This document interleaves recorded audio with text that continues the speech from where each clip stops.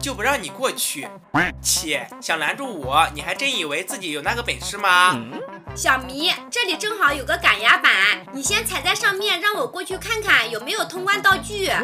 好吧，那我就勉强给你一个表现的机会吧。不好意思，小迷，你难道没听说过女人翻脸比翻书还快吗？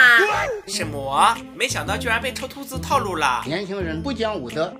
不过俗话说得好，车到山前必有路，我还是找找有没有什么线索吧。哎，点击开关还会出现箱子，那我只需要把箱子推到改压板上不就可以啦？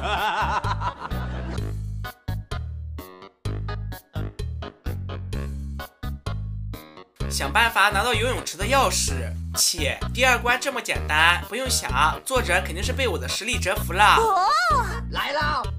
我去，我怎么还狗带了？嘿嘿，原来小丑竟是你自己！臭兔子，你是风油精转世吗？这么会说风凉话？哎，误打误撞发现了一个扫把，那如果没猜错的话，只要用它把排水闸关掉，肯定就可以啦。怎么样，这不就被我轻松拿捏了吗？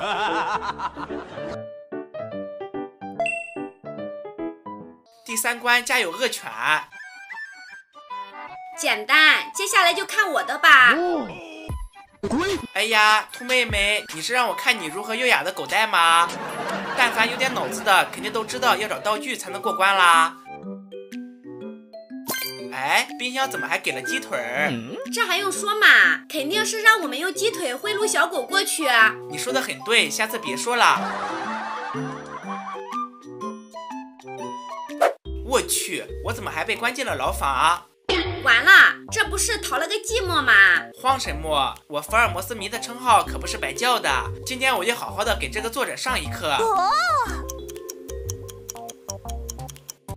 怎么样？一切都在我的掌握之中。小子，你高兴的未免有点太早了。切，我劝你们两个小卡拉米还是别出来找存在感了。我去，我怎么突然狗带了？我晕，兔妹妹，你还真是头脑简单，四肢发达呀！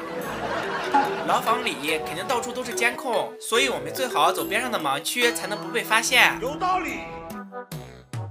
没想到你还是有点东西，不过也就止步于此了。真是大言不惭，看我这就送你们上西天。滚！我去，前面怎么还出现了岩浆？作者，你够狠的呀！